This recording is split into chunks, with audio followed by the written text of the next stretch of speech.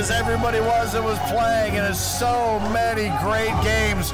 You saw it all, you felt it all, you heard it all. We have a brand new king of cornhole.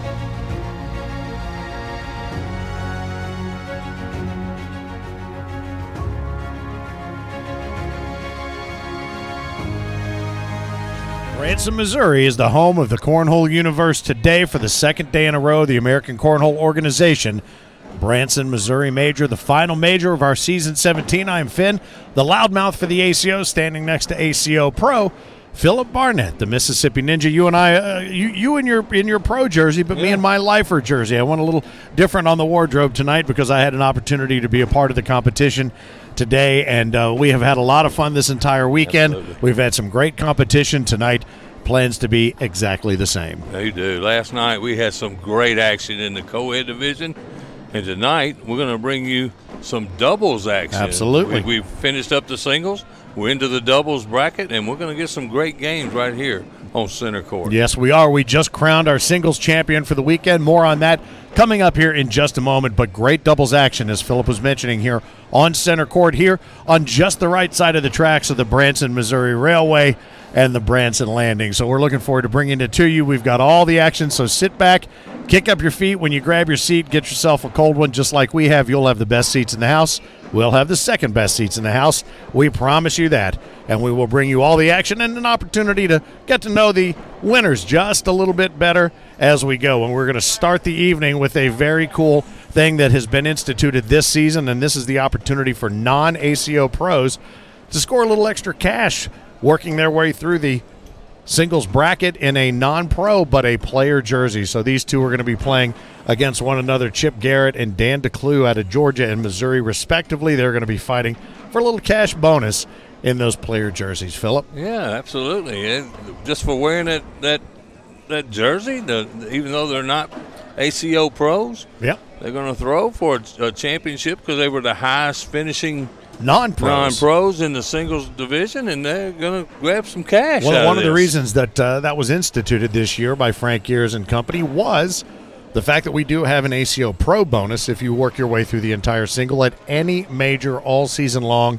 and you've got that ACO Pro jersey on. You are eligible, and you will score an extra thousand dollars on top of any and all purse money. So this should be a lot of fun. We uh, we'll talk a little bit more about our singles champion here, who just really, really put on a clinic here over the course I'm of the entire you, weekend. He really did. I mean, he went through some great competition like a hot knife through butter. I'm gonna tell you. We had uh, quite a, a few uh, dog fights and slug slugfest matches. We had a couple that were a little bit more of a buzzsaw, but I'll tell you as we get into the discussion of the singles bracket, some great talent stacked up throughout the weekend here in Branson, and we look forward to more doubles action as the players get their final instructions. They're going to run off and uh, take care of a little bit of business as Frank Geers, our founder and our chief referee and uh, hype man, Starter. the cornhole The dude, our official starter. He will give them the opportunity to check in, let them know they're ready, and then bring it when they have that opportunity here in just a moment. But let's talk a little bit about Gary Bearpaw, who is our singles champ. He came through and he just unloaded. And Craig Irvin, who he took down in the final match, uh, I'll, I'll tell you something. That was a thing to behold because Craig worked his way through Chase Puckett in what was a slugfest, and these are names that if you know cornhole, Yeah. you know these names. Then Craig faced off against Zachary Rush, who was part of our co-ed championship team last night, took care of him.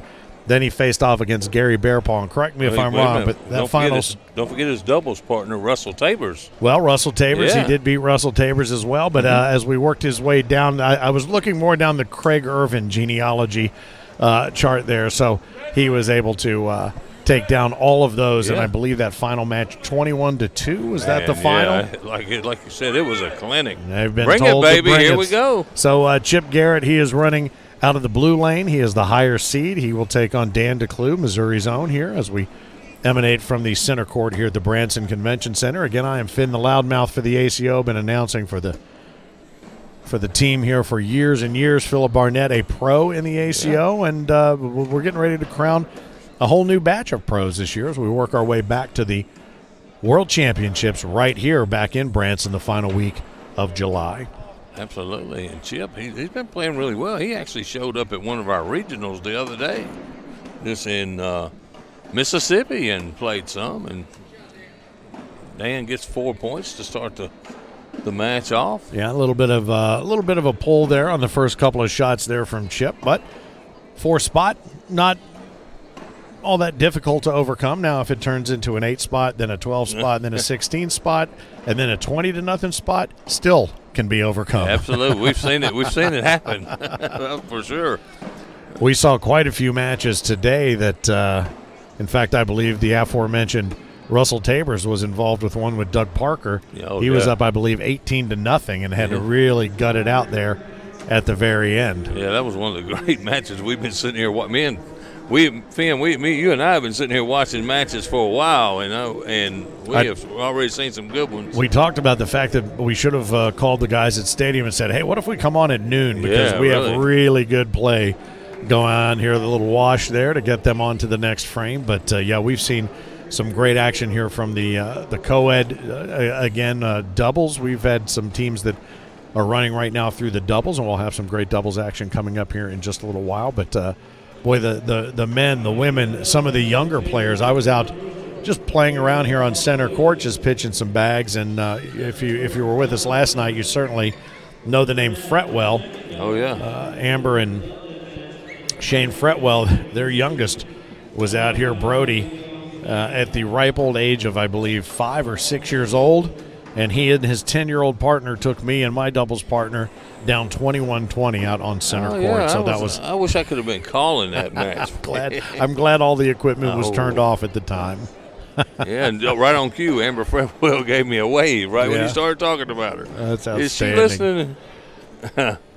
Well, we'd like to think that the uh, the hometown folks are listening, but uh, you, you made mention of the the competition from yesterday, and uh, from a score standpoint, Four to nothing. uh, we're looking. Uh, he just picked up, Yeah, I think, a did. five spot, so we're looking at five on four. yeah.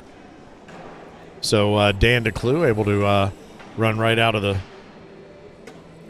And Chip is he started throwing that blocker first bag as Dan reblocks. Chip throws his arm up like he's cocking a gun or or something. It's kind of unusual, but we see we see them all. Unusual throw here. Yes, we do. Everywhere. 400 players, 400 different ways That's to throw right. to throw a Oh. bag. Now I think I'm looking at our score. We're looking red. Oh, I think Yeah. we need to change it on the. Uh, Yeah, we're having a little technical difficulty over there. We'll get it. Five to four. Chip Garrett. Chip Garrett over Yeah. Dan. Dan DeClue just blue up. over red.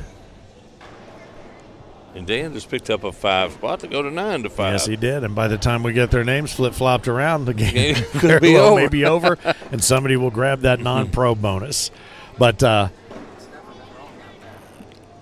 Man, I watched a heck of a game out in the doubles pool while we were waiting to come on air between Glover and Anderson in the longs, and it came down to 21 to 20 match, and it was awesome. So I can't wait to see what we're going to get here on center court. All right, so last night it was uh, Seth Four out of Tui, Oklahoma, defeated Sebastian Barger, who we expected to be perhaps our juniors champion last night, Yeah. but uh, he came in second place to Seth, who threw a great game. Robert Harper, the Rainmaker, was able to take down Scott Mitchell, also out of Paragould, Arkansas. So uh, a couple of the uh, 870 guys taken down and uh, a peg second place, but well played by both Seth and Robert. Congratulations on juniors and seniors, respectively. Amber Fretwell who we were just discussing, took down Martina Belt. And uh, I'll tell you what, there was a little bit of a revenge then a little later on in the co ed doubles when Martina, pa- she partnered up with Zach Rush. And they came in as the 29 seed and took down Amber and Shane, the number one seed Yeah, just remember that name, in Zach co ed Rush. doubles. Yeah, he is. We have uh, been we've been seeing him on the center court, and he's been throwing some fire. He has. He's had a, uh, a really good weekend, and uh, for not playing all of that all that long, he really does have a groove built. And he's got. I yeah. mean, he's got all the gear. He's got all the bags. He's got the temperament. He And uh, he's got the skills, if you wills. Yeah, those are built in.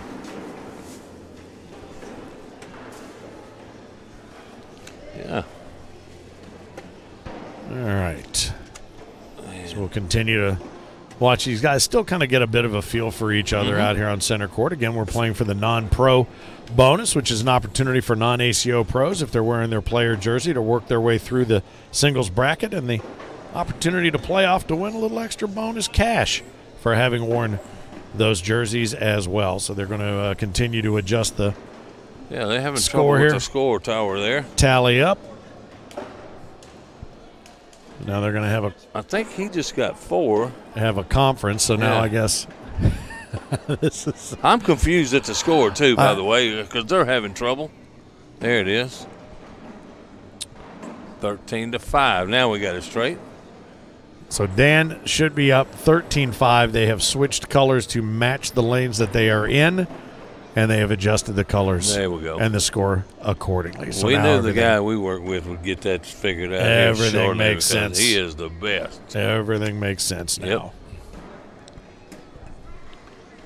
So McClure right down the middle.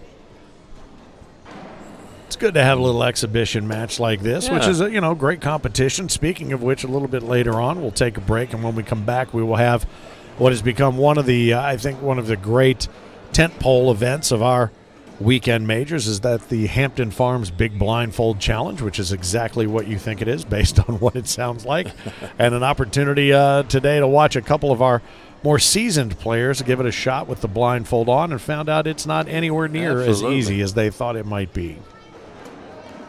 Nice bag there, right there. Let's, let's see if Chip can push through that and grab a couple points right here. I know he, he won our regional over there Wednesday night. So he's got the tools. Oh, and he is Boy, and he- unthinkable. yeah. I think he uh, would love to have the Metal Arc lo- ru- lemon rubber band on that one to pull that Pull back that and back. try it again because not only did he not score, he put one in there for Dan, and I've so Dan doing- rolls up 17 on five. I've been doing that all day, Finn. Shots I you want to take back? That, that helped my opponents out so much Mm-hmm. today. I, they're probably going to send me a Christmas gift. Oh, no question, no question. I, I was the biggest advantage all of the Yeah. people I played against had. Oh, and Dan, he, he's he's he's wanting the money a little more than Chip right now. I think. Well, I think there's just a difference in the level of, uh, of, of steady follow through. You see, uh, yeah. Dan steps up and he just gets in that in that motion, and you watch him between shots. You're catching Chip. I think maybe second guessing a little bit of his uh, his approach to this particular game. He's stepping in tight to the board, and now you'll see Dan. well, not bad. That's not, not, bad. not terrible there, but he leaves a little bit of a peak of daylight in there for Chip to try to get through the center. Now, can he do that without bringing Dan with him? That's the question. He doesn't. He does. He looks back at the scoreboard as if to say, maybe I'm just Yeah. going to uh, play this safe, and and he did. he did. Yeah. I thought he could slick side right through the middle of them. I don't know. He might have. He might have uh, mistakenly then taken both bags. If all three of those bags had gone in, done himself a disservice uh, yet again. So that was probably the smart play play to live to fight Yeah. another frame. As Dan's got a command this 17 to 5 lead. First bag is out of play. See if Chip can get going here. There it is.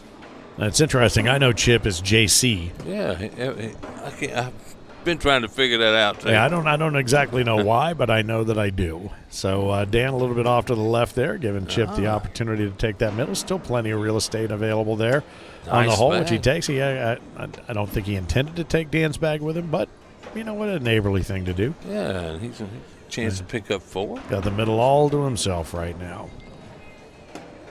There All right, very nicely done. Taters exchange as they work their way down west to east on your monitor there, and uh, he's going to post a little extra, if you will, to his uh, score tally. So 17 on 9 now. Dan DeClue out of the red lane, the lower seed, and Chip Garrett out of the higher seed, working his way back. And we've seen quite a few comebacks, quite a few uh, opportunities to double dip. We've had all kinds of great scenarios all over the weekend, and it's been a lot of fun to be here from junior, seniors, women's, co ed, the big blind draw, the uh, quad tournament last night, which uh, was a lot of fun, and uh, Yeah. tier play, of course, throughout today. Tier three, if you get uh, bounced out of the main bracket, you have the opportunity to take points home in tier three and tier two, and uh, we got to play a little bit of that. I got to play a little Oh, bit of that, not for very long, mind you, but uh, enough to uh, keep me busy throughout the afternoon. You got to start somewhere.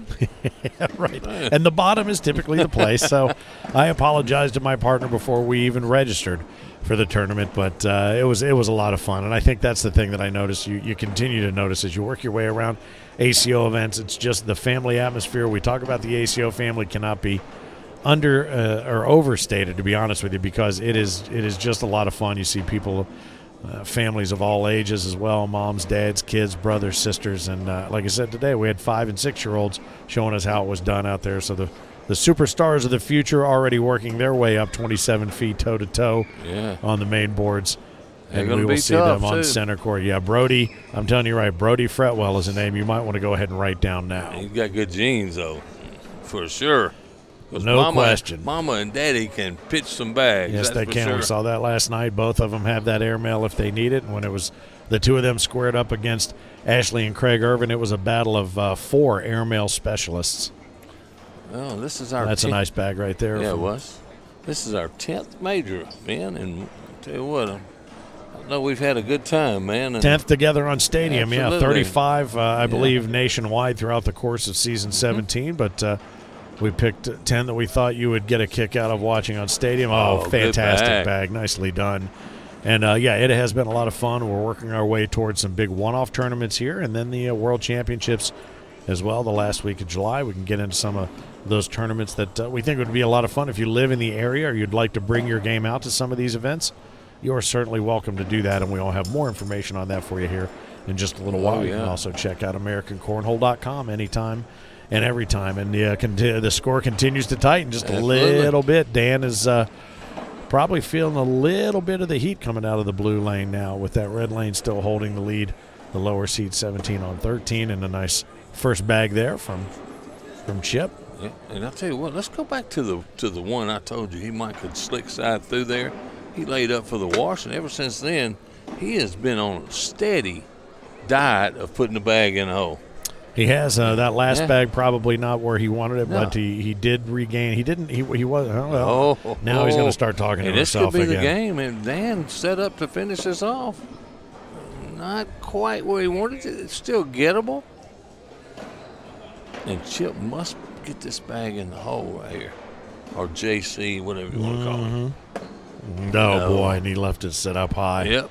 And now- all he got to do is bump one bag in. Game is over, and he's gonna pick up the extra cash for wearing that jersey.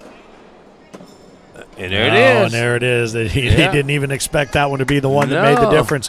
But congratulations, Dan DeClue runs out of right here in Missouri. He takes down Chip Garrett out of Georgia, and he's going to grab that uh, that little extra bonus. He's got his player jersey on, and uh, he's going to grab a set of headphones here. We're going to have him do that, and then step out on camera. We'll talk a little bit uh, to these guys, and we'll have them uh, talk to us a little bit about a little bit about what it was like yeah. to be on center court, man. And and Dan, that was uh, nicely done.